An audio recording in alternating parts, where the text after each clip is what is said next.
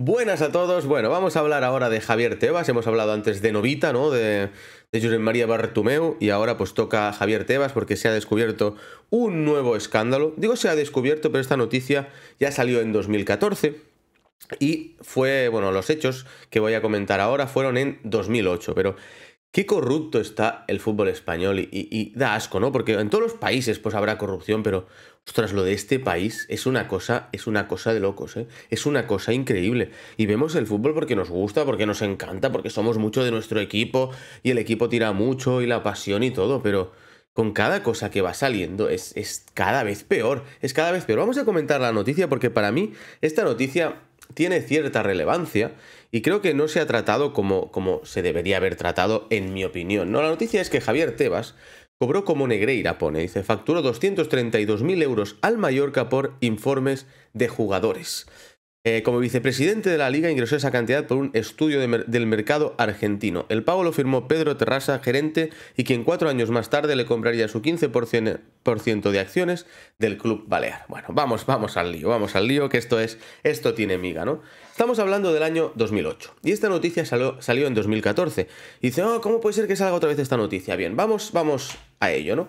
¿Qué ha pasado cuando ha salido esta noticia?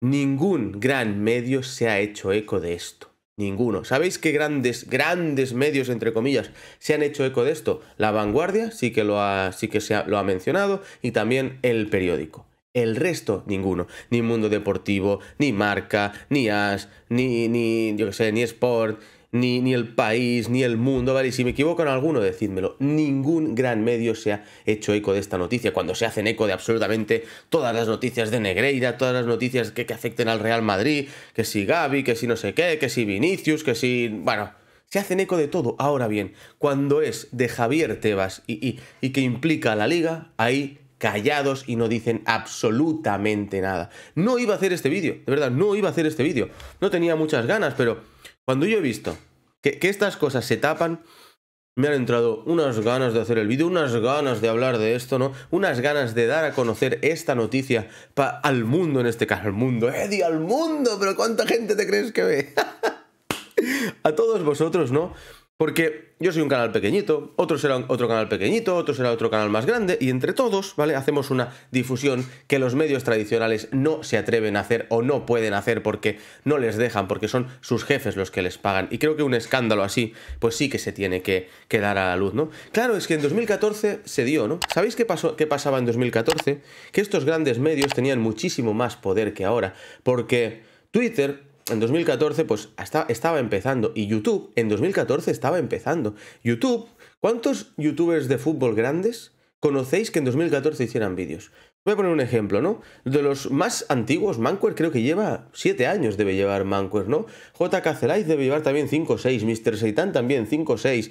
Eh, eh, Quillo lleva, que lleva 2, 2 o 3 años, Quillo, igual que, que, ¿no? ¿Sabéis? Todos los, los youtubers eh, hablando de, que, que hablan de fútbol o que hablamos de fútbol, yo llevo un año en YouTube, un año llevo.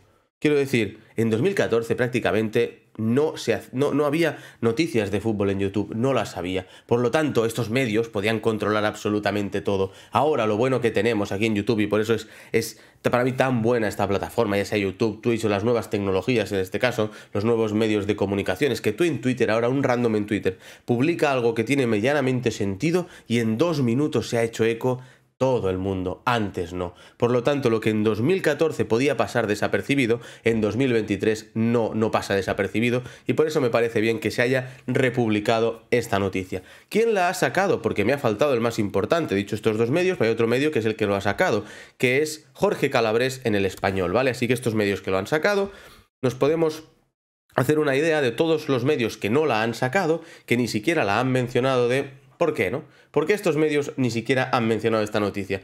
Pues pensemos, ¿no? Pensemos quién, para quién trabajan, quién les paga, y por eso os digo que no son libres, no son libres de dar su opinión, y es, es, es eso es lo peor que tiene el, periodismo tradicional o digamos los, los medios tradicionales, que si, si, si, van a perder la batalla contra los youtubers o contra... es por estas cosas, ¿eh? La gente que cada vez quiere informarse más en YouTube y quiere ver más youtubers en este caso, porque saben que su opinión es libre, que su opinión es, es, la, es, la, suya y que no les paga absolutamente nadie más que las visitas de los vídeos. Y no están influenciados por este o por aquel, salvo algunas excepciones que también las hay como, como, como en todos lados, pero sabéis por dónde voy, ¿no?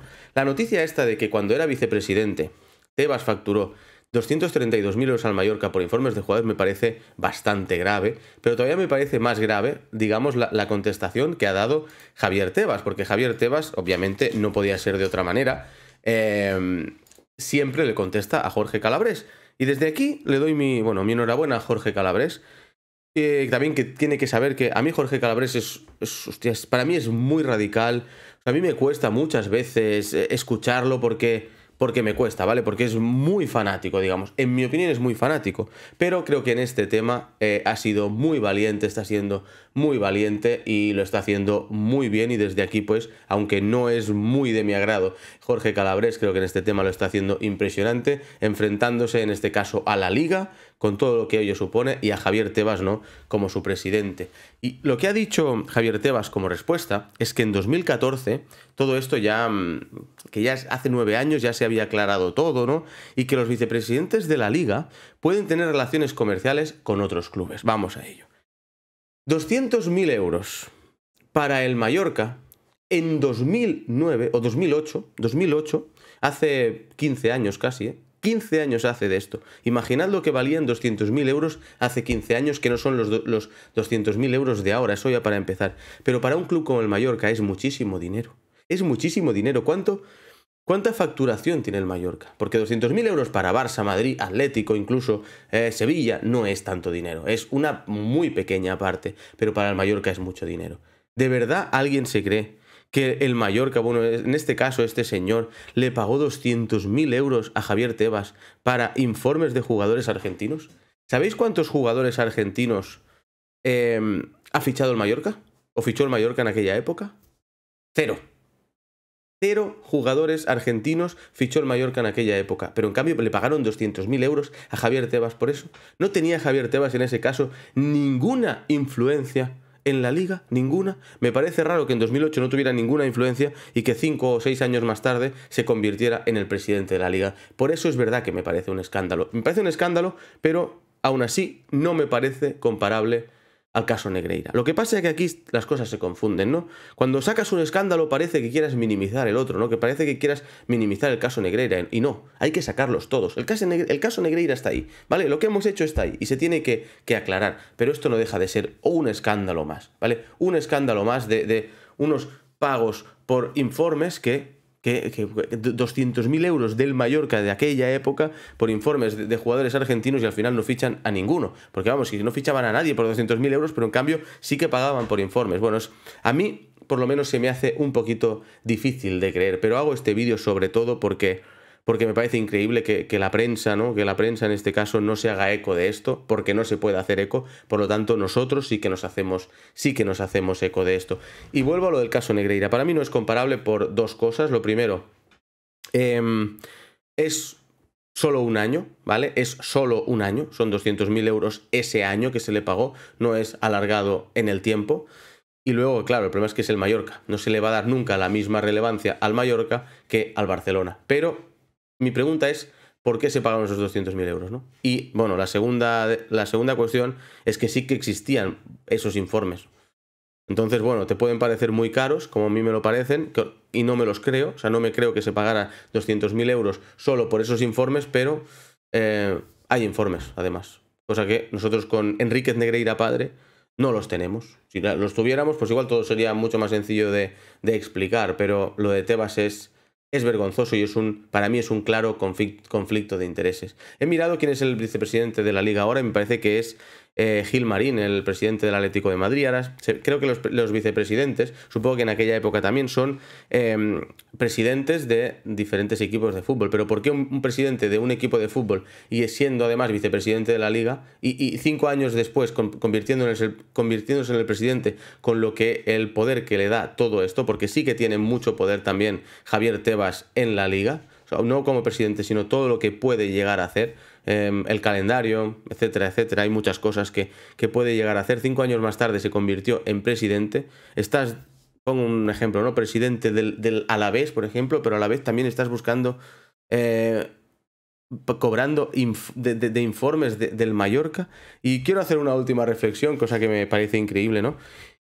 Cuando tenga un hijo, le voy a decir a mi hijo que nunca se haga presidente, ni de los árbitros, ni de la liga, ni de nada. Que sea vicepresidente porque va a vivir mucho mejor. Los vicepresidentes cobran más dinero que los presidentes, ¿no? Enrique Negreira, siendo vicepresidente, estaba cobrando mucho más dinero que el presidente Sánchez Herminio, que no sé qué sueldo tendría, pero estaba cobrando mucho más dinero por algo que en teoría era lícito. Javier Tebas a unos, por unos informes, un año de jugadores argentinos cobró 200.000 euros al, al, Mallorca. Imaginaros si, si, lo, hace eso con, bueno, con varios clubes y varios años. Cobra más que el presidente. Eh, ¿Dónde quiero llegar con esto? Vosotros, si el, si, el, si el vicepresidente que tiene este poder hace eso, ¿Qué no harían los presidentes? Porque si yo soy vicepresidente y tengo esto y, me ofrecen el puesto de presidente, diría que no. No, no, no, no, no. Pero si estoy ganando 300, 400 o 500 mil euros al año haciendo, trabajando para otros equipos y como presidente no lo voy a hacer y no voy a tener este sueldo. Ahora sí que lo tiene Javier Tebas, 2 millones, pero antes no cobraban eso. Entonces, si los vicepresidentes ¿eh? cobran más que los presidentes, esto no se lo cree absolutamente nadie. ¿Vale? Eso es una última reflexión que dejo. Eso es una última reflexión. Nos vemos en el próximo vídeo. Chao, chao.